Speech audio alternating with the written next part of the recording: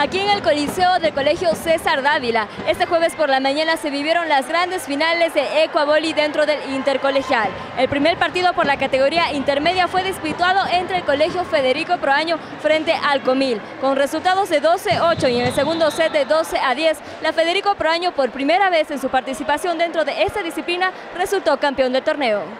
Sí, eh, gracias a Dios, un, un triunfo bien sufrido eh, es nuestro debut en el Ecuabol y es la primera vez que la Federico Proaño eh, participa en esta disciplina y bueno, lo hemos hecho con gran suceso. Comir, muy buen equipo, sí, tiene, tiene un colocador que, que ocupa muy bien su puesto y bueno, tal vez, tal vez nosotros pudimos aprovechar eh, un poquito la deficiencia del volador. Llegaron invictos a esta final en aquel Comir tuvo que conformarse con un segundo lugar pese a los esfuerzos de los últimos puntos. Bueno, eh, en la categoría intermedia, o sea, nada, nada está dicho, ¿no?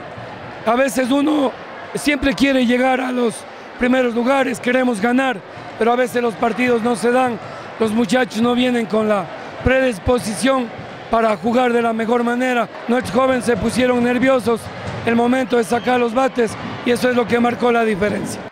El equipo de la Federico disfrutó al máximo esta victoria con toda su hinchada y salieron felices por ese primer lugar que espera no sea el último. Es un deporte muy bueno y le metimos ñeque nomás y esto se gana jugando bien y participando bien duro, pero le dimos todo, lo mejor de nosotros. Bueno, estaba muy difícil, pero logramos ganar y...